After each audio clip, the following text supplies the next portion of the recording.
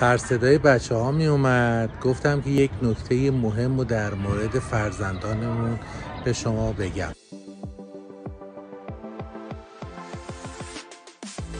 اگر متوجه تغییر رفتار ناگهانی در فرزندتون شدین که برای چرایی اون دلیلی نداشتید و یا احساس کردید که خیلی بی‌حوصله است از اشتها افتاده غذا نمی‌خوره دوست داره تو تنهاییش باشه و گاهن متوجه شدین که یواشکی گریه می‌کنه شک بکنید که یک اتفاقی براش افتاده که شما ازش بیخبرید.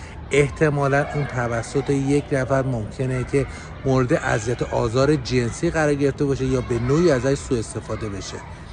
یه نکته ای که می‌خوام خدمتون بگم این هستش که برخلاف تصور رایجی که در جامعه وجود داره آمار سوء استفاده جنسی از دخترها و پسرها هیچ تفاوت معناداری نداره و در بهترین حالت آمار تعرضات جنسی به پسرها برابر با دخترهاست.